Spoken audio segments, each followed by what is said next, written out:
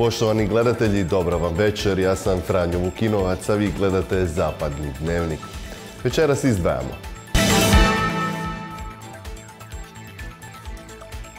Obilježena 31. obljetnica osnutka i ustrojavanja specijalne jedinice policije Alfa. Otkrivena spomen ploča poginulim braniteljima u Pušći povodom općinskog dana branitelja. Ugašen NK Inter Zaprešić, no mlađe kategorije zbrinute osnivanjem NK Inkera. Ljekarne Zagrebačke županije otvorile poslovnicu u novo otvorenom trgovačkom centru Zelini. Pripadnici specijalne jedinice policijske uprave Zagrebačke Alfa proslavili su 31. obljetnicu od svog osnutka. Tim povodom i u Zaprešiću pripadnici jedinice Alfa zajedno s gradonačelnikom Željkom Turkom kod spomenika poginulim braniteljima u Domovinskom ratu položili su vijence i zapalili svijeće. U Domovinskom ratu specijalna jedinica policijske uprave Zagrebačke Alfa prešla je ratišta od Banovine, Zapadne Slavonije, Like pa sve do Dubrovnika. A povodom 31. godine osnutka pripadnici Alfi položili su vijence i zapalili svijeću u Zaprešiću ispred spomenika poginulim braniteljima. Velik dio e, specijalne policije Alfa Zagreb činili su e, ljudi i dečki koji su iz područja Zaprešića kao i ja sam. Samim time dugo već surađujemo sa gradom Zaprešićem, zahvaljujemo se i gradonačelniku i gradu Zaprešiću na potpori. Organizirali smo i razne izložbe da bi dokazali šta smo sve radili, kud smo sve prolazili, a današnji dolazak je proslava naše Rošek 31. rođendana, a ujedno da iskažemo i počast poginulim braniteljima sa područja grada Zaprešića. 31 godina od snivanja samih Alfi i veseli me da smo i danas u vruće vrijeme to obilježili, prije svega polaganjem vijenaca na ovdje kod spomenika naših branitelja, ljudi koji su dali svoje živote za našu Hrvatsku. Jasno je da kada govorimo o onome e, što Alfred i specijalnice policije su radile u vrijeme rata, što rade i danas, znači da su na braniku domovine, da su uvijek spremni, vrhunsko uvježbani kako bi mi bili sigurni u zemlji u kojoj živimo. Alfini veterani danas u miru broje oko 300 članova, a udruga primarno brine o svojim pripadnicima te održavanju sjećanja na sve one pripadnike koji više nisu tu. Pa gledajte, specijalne postrobe znamo šta rade, to ne treba naglašavati. Bile su prve velike jedinice koje su pružile veliki otpor. Kasnije smo se formirali, znači dan osnutka, prije je to bilo poznato kao jake snage MUPA. E, odrađivali su jedne od najtežih zadataka od velebita i od drugih stvari u domovinskom ratu. Nakon toga prebacili smo se u mirnodopski dio, znači štitenja od bilo kakvih ugroza sa strane i unutra. Sada smo veterani, osnevali smo svoju udrugu i brinemo se o svojim pripadnicima, obilazimo mjesta gdje su naši kolege poginule, brinemo se o njihovim obiteljima i promičemo tijekovine domovinskog rata. Specijalna jedinica policije Alfa sudjelovala je u svim borbenim akcijama u domovinskom ratu, a u njima svoje mlade živote položilo je osam njenih pripadnika, a više od stotinu je ranjeno. Po drugi puta obilježen je Dan branitelja općine Pušća. Svečanosti su prisustvovali pripadnici mnogobrojnih braniteljskih udruga i uvaženi gosti, a centralni događaj bilo je otkrivanje spomen ploče poginulim braniteljima u Domovinskom ratu s područja općine Pušća.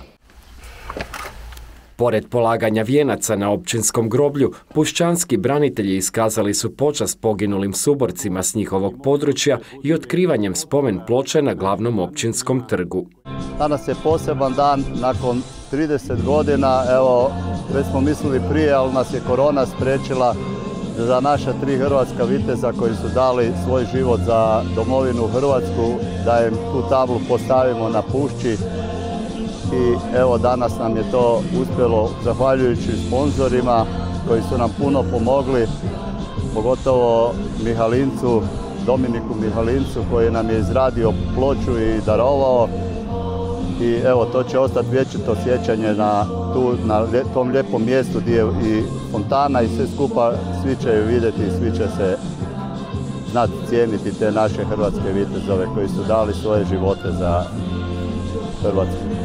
Svečanosti je prisustvovalo i nekoliko hrvatskih generala, a kao izaslanik ministra hrvatskih branitelja Tome Medveda govori održao general pukovnik u miru Dragutin Repinc. Mislim da najmanje što hrvatski generali, bez obzira bili djelatni ili u mirovini, mogu napraviti za branitelje koji su 1991. godine krenuli u neizvjesnost ne znajući što ih očekuje, nego jednostavno zbog ponosa, zbog hrabrosti, odlučnosti i želje da obrane Republiku Hrvatsku su krenuli širom Hrvatske, kao što ste rekli, bili su posvuda i branili ne pitajući zapravo kojim je lijevo, kojim je desno, sa jednim jedinstvenim ciljem da stvorimo samostalnu, jedinstvenu, neovisnu Republiku Hrvatsku. Zbog toga to što ovdje ima više generala je samo iskaz zahvalnosti svim braniteljima, a nažalost i ovoj trojci koji smo davni dana za vrijeme Domovinskog rata pokopali na lokalnom groblju ovdje u Pušći i meni je izuzetna čast i zadovoljstvo što ispred hrvatskih branitelja mogu biti ovdje danas. Pušćanski branitelji ratovali su na teritoriju čitave Hrvatske, stoga ne čudi velik broj prijateljskih braniteljskih udruga koje su došle uveličati ovaj svečani trenutak. Mogu reći da su branitelji iz Pušće, to nije veliko mjesto, ali da je bilo preko 100-120, svi pričaju točan broj se ne zna, bili su, a bili su po čitavoj Hrvatskoj su bili, stekli su prijatelje i to prijateljstvo i dalje gariju. I to se sad vidi ovaj, tu, kad god mi imamo neku proslavu i sve skupa, uvijek su rado viđeni, uvijek rado dođeju svi na tu pušću. I nas su iznenadili koliko ih je došlo, ali hvala Bogu da je, neki je, da je još više, uvijek ćemo ih rado primiti. To je isto jedan znak da naša udruga dobro i kvalitetno rade, jer da nisu takvi, da nisu susretljivi i dobri, sigurno da ne bi svoji ljudi danas iz, e, pa ja mogu reći iz cijelih krajeva Hrvatske došli tu i dali im podršku na ovaj njihov dan. Da, naši poginuli koji jesu, evo i ova spomen ploča koja se nalazi tu iza nas, danas je otkrivena, baš u spomen njima trojici, ali evo kao što sam i rekao u govoru, to je spomen svim ostalim preminulim braniteljima i nakon rata, neka ta ploča tu vječno stoji u sjećanje i na to kako smo dobili naš rat i da imamo sad slobodnu nam Republiku Hrvatsku. Branitelji su ostatak dana proveli u dobrom druženju i prisjećanju na slavne dane i pali junake s početka 90-ih kako se nikad ne bi zaboravila žrtva koju su dali za slobodnu Hrvatsku. Dok mu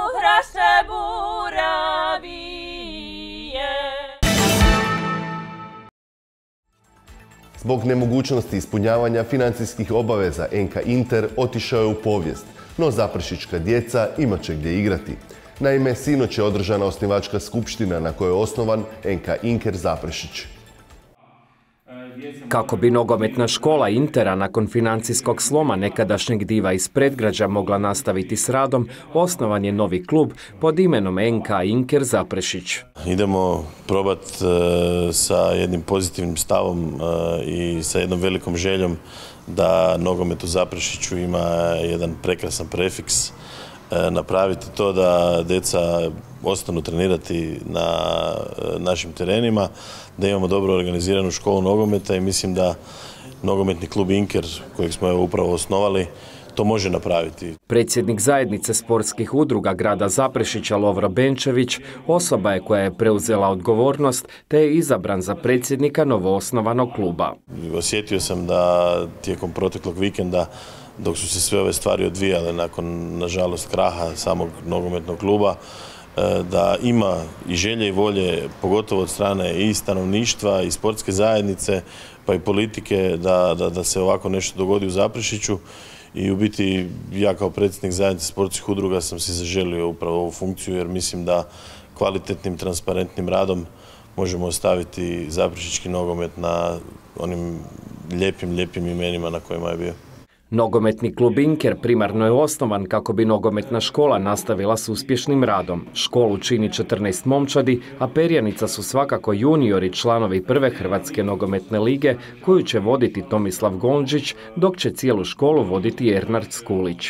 Određenim naporima mi smo svakako zaželjeli da sve zadane selekcije koje jesu od strane nogometnog kluba Inter ostanu u istim tim e, selekcijama koje su i bile što u županijskom natjecanju, što u natjecanju HNL-a. E, to je nešto što Hrvatski nogometni savez odobrava, odnosno omogućuje to kao nekakvu opciju s obzirom da se radi o mladima i djeci. Mi ćemo ju probati iskoristiti i svakako sam siguran da je to vrlo važna stvar jer na taj način možemo sagraditi upravo tu budućnost relativno brzo s obzirom da i kategorije do juniora će ostati onako kakve su i bile i vidim Zaprešić kao bazen igrača u budućnosti koji će se baviti isključivo radom sa mladim. No nije se odustalo ni od seniorske momčadi koja će ako bude interesa biti formirana na kraju iduće godine. Ono što je meni e, želja je da upravo ti juniori koji će biti izlazni juniori e, naprave inicijativu i da maltene sami pokrenu e, tu priču i ja, mi ćemo im to omogućiti da pače, no to će vrlo, vrlo ovisiti o njima jer mi ćemo to ponuditi kao mogućnost, a oni će vrlo vjerojatno trebati to napraviti kao inicijativu. Krenut ćemo iz najnižeg ranga, vidjeti šta će se dogoditi i gotovo sam siguran da i ta nekakva priča može u budućnosti biti jako lijepa. Prvi potez nove uprave je uvođenje potpune financijske transparentnosti. Nemamo drugačije ni šanse, niti želje, niti volje, da budem iskren. E, znači, mi ćemo prvenstveno omogućiti svakome da ima vrlo jasno prikazano ono što mi radimo. Drugo, imat ćemo također raspravu upravo sa roditeljima i sa javnosti, odnosno tražit ćemo od roditelja da sudjeluju u radu kluba i ono što sigurno ćemo napraviti je da ćemo na kraju godine podnijeti jedan izvještaj koji će svima nama omogućiti da vidimo šta smo napravili, da to bude jako transparentno i točno. S prvim izazovima i to onim u administrativnom dijelu morat će se uloviti u koštac od prvog dana. Mi smo vrlo svjesni svih napora koje moramo napraviti sada. E, dobro smo se izorganizirali i ekipirali, odnosno zadržali smo stručni kadar e, koji nam može pomoći oko kvalitetne registracije. E, uključili smo u rad entuzijaste koji su jako željni i voljni da ovo sve skupa uspije i sada se nadam da na samo administracija neće poljuljati u tome svemu, mada i s njima u komunikaciji već imamo nekakve naznake da ako mi svoj posao odradimo da neće biti nikakvih problema. Veseli što je potporu ovom projektu pružila čitava zajednica sportskih udruga grada Zaprešića. Kad sam se odlučio biti predsjednik ove udruge, onda sam nazvao jako puno svojih sportskih prijatelja koji su mi svi dali potporu da ovo napravim, tako da siguran sam da Zaprešićki sport stoji iza ovoga. Div iz predgrađa kreće iz početka, a više od 300 polaznika škole nogometa garancija su da neće trebati dugo da stanu na noge, a za povratak na staze Stare Slave treba će ipak pričekati još neko vrijeme. Hvala. Radom je započela nova poslovnica ljekarni Zagrebačke županije koja je preselila iz Donje Zeline u sklop novotvorenog trgovačkog centra. Njenom otvorenju u ime Zagrebačke županije nazočio i župan Stjepan Kožić. Zelinčani su u sklopu novotvorenog trgovačkog centra dobili i novu podružnicu ljekarni Zagrebačke županije. Radi se o poslovnici koja se u nove prostore preselila iz Donje Zeline. U proljeće ove godine na inicijativu na prijedlog tadašnje ravnateljice magistre Zvijezdane Dobrinčić, bez koje vjerujem podružnice na ovoj lokaciji ne bi bilo, Upravno vijeće Ljekarni Zagrebačke županije donosi odluku, odobrava preseljenje na ovu adresu i također odobrava investicijsko ulaganje u prostor. Pa ja bih evo prije svega zahvalio svima onima koji su se trudili da ovakav prostor koji je čini mi se centar ne samo trgovine nego i ukupno kupljanja svih žitelja, ali ne samo zeline, nego i bliže okolice, stvorili uvjete da ovaj centar na neki način prerasta u centar koji će biti suvremeni način života za ovaj grad. Od otvaranja poslovnice na novoj lokaciji uvelike će koristi imati prvenstveno sami korisnici njenih usluga. Kako će ova poslovnica raditi za razliku od one prije, sve dane u tjednu. Evo, vjerujemo da će rad na ovoj lokaciji u produženom radnom vremenu stanovništvu ovoga kraja omogućiti lakšu dostupnost ljekarničkoj skrbi, a da će stručan i motiviran tim ove podružnice na čelu sa njihovom voditeljicom magistrom Lidijom Kovačić svojom suradnjom i znanjem, zalaganjem doprinijeti sprečavanju bolesti i zaštiti zdravlja stanovnika Zagrebačke županije. Time smo se približili kupcima, ali i na taj način praktički smo prije svega dali mogućnost onima koji dolaze kupovati, da obave na jednom mjestu i kupnju, ali i nabavu lijekova, ali i svih proizvoda naših ljekarni Zagrebačke županije. Ovim preseljenjem praktički dobit ćemo to da će naše usluge biti još kvalitetnije i još bolje jer će ova ljekarna raditi i nedeljom što do sad nije bio slučaj. Na kraju valja napomenuti kako se ovdje radi o investiciji vrijednoj gotovo 390 tisuća kuna.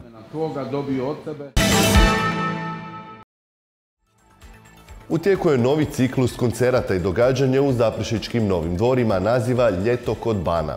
Nakon nastupa Trija Il Volo i mirnijeg raspoloženja, Zaprešić je plesao uz, mnogi su se složili, odličan nastup konstrakte i sastava Zemlja Guruva. Nakon dosta godina stanke i festivala Nori dvori, Rok se vratio u Zaprešić. U konstrakti iz zemlji gruva uživao je pun i rasplesan perivoj ljudi dobre volje od 7 do 77 godina. Sad ste stvarno mainstream pravi. Znači, Jel da, nisam još izašla, ali sad ću da vidim šta nas čeka. Čekaju vas klinci, čekaju vas Super. mlade, čekaju vas stariji, svi. E sad, konstrakta, kako je biti mainstream sad? Ipak ono, evo, zagrebačka publika, dobro ste poznati već od prije, već od onih Da. hita, međutim, evo, ovo je bilo baš ono, kako bi rekao, onaj talas ili val koji je Dobro, vidjet ćemo koliko će ovaj val da traje. Relativno kratko traje, za sad mi je jako lepo, pogotovo što ima ovaj, publike koja je dosta mlada i starije publike. To je nekako neuobičajeno i za mene novo i to mi je nek posebno drago. Više nema da Anu Đurić, poznatu kao konstrakta, netko ne primijeti. Postoje okolnosti kad ni na tržnicu ili u prodavaonicu ne može otići bez pozornosti. U naj, najrazličitijim situacijama ljudi prilaze ovaj, da se slikamo, ali dobro, ja nekako mislim da će to s vremenom da utihne. Ja se slikam sa svima, pa kad god mogu. Nakon konstraktina predstavljanja Srbije na ovogodišnjoj Euroviziji u Torinu, zaživjele su one stare stvari glazbenog sastava Zemlja Gruva s kojim nastupa, poput pjesama Mama ili Django. Ovaj glazbeni sastav zapravo je ljudima postao poznat. Ja bih voljela da jeste tako, sad kroz ove koncerte koje smo imali do sada vidim da i, i sve više se reaguje na Zemlju Gruva, stvarno bih voljela, pošto je Zemlja Gruva bitan deo onoga što smo mi radili i u suštini to je i dalje tu, mi smo samo konstraktu nekako odvojili zbog malo drugačijeg zvuka, ali zajedno radimo i dalje i izvodimo pesme Zemlje Gruva.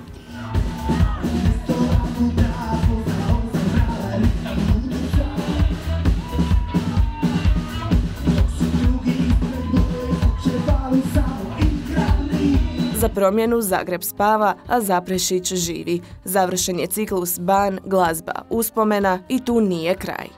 Il Volo je to na sjajan način e, zaokružio.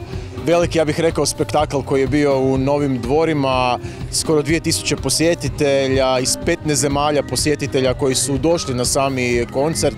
Tako da, evo, vjerujem uz ovaj čarobni ambijent koji ovdje imamo uz Il Volo, bilo je zaista sjajno. Danas, kao što si rekao, nastavljamo. Kreće nam ljeto kod Bana koje traje sve do 31. srpnja. Bogati večernji dnevni e, program, svatko može pronaći nešto za sebe. A danas otvaramo sa Konstraktom i Zemljom Gruva, vjerujem da će biti zanimljivo.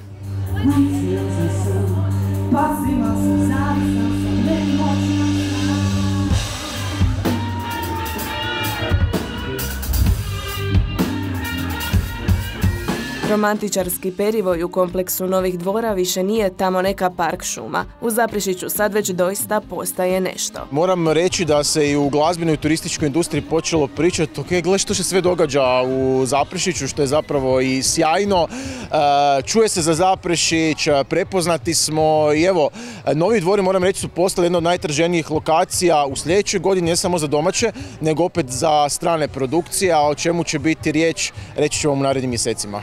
Što se sve događa u ljetu kod Bana možete saznati putem društvenih mreža turističke zajednice grada Zaprešića. Za one možda starije gledatelje koji nisu na društvenim mrežama, u narednih tjedan dana u novim dvorima za večeri su pripremljeni koncerti, ali tu su i brojna dnevna događanja.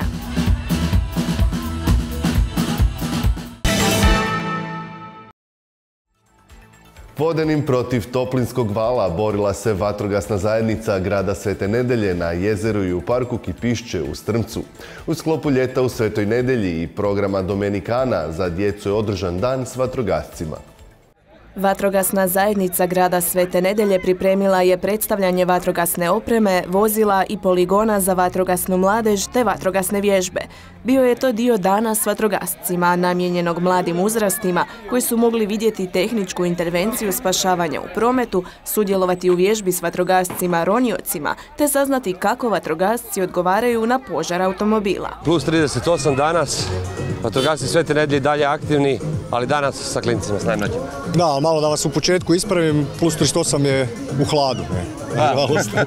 Ovoga, da, e, u sklopu Dominikane ljeta u Svetoj nedelji e, u suradnji sa Crvenim križem smo odradili manifestaciju, odnosno odrađujemo manifestaciju Dan s vatrogascima i prva pomoć za najmlađe, gdje evo naši sugrađani i svi ostali se mogu priključiti i upoznati se sa vatrogascima, sa našim e, zanimanjem, sa time što vatrogasci rade i sa vatrogasnom opremom i sa aktivnostima koje rade Crveni križ. Unatoč toplinskom valu koji je sad iza nas, ali koji je te subote dosegao vrhunac, vatrogasci su pokazali da se znaju pobrinuti za visoke temperature. Osvježenje su ponudili u obliku vodena vala. Djeci su se svidjele i vježbe koje su im vatrogasci pokazali. Naravno, mogli su sudjelovati, isprobati e, i e, vatrogasnu opremu, odnosno ove, e, onaj dio vatrogasne mladeže i djece s kojima radimo su mogli se ukušati u tome, koristiti malo vatrogasnu mlaznicu i malo se osvježiti evo, na nekim vatrogasnim armaturama koje inače koristimo za zaštitu od toplinske energije. Djeci su se pojedine vježbe posebno svidjele. Vatrogasci su našli način da ih privuku. Za klince imamo požarnu kućicu, a to su, znači imamo improviziranu e, malu metalnu kućicu sa improviziranim plamenima gdje oni to mogu ugasiti i, e, i sa tim raditi, a uz to moći će vidjeti spašavanje iz e, vozila u prometnoj nesreći i gašenje vozila isto koje ćemo, evo, kad malo sunce se slegne, onda ćemo to odraditi. Crveni križ iz Samobora upoznao je djecu s pružanjem prve pomoći, saniranjem ozljeda i postupanjem u slučaju sunčanice te toplinskog udara.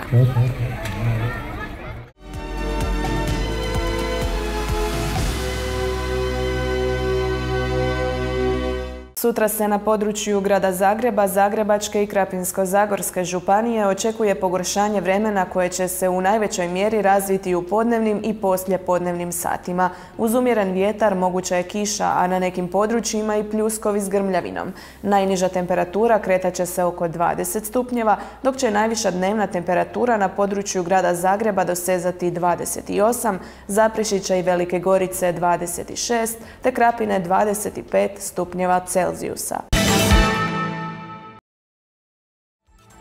Poštovani gledatelji, stigli smo do kraja još jednog zapadnog dnevnika. Pratite nas i dalje na našem Facebook stranici, na našem portalu zapad.tv te na našem YouTube kanalu Informativni servis Zapad. Doviđenja.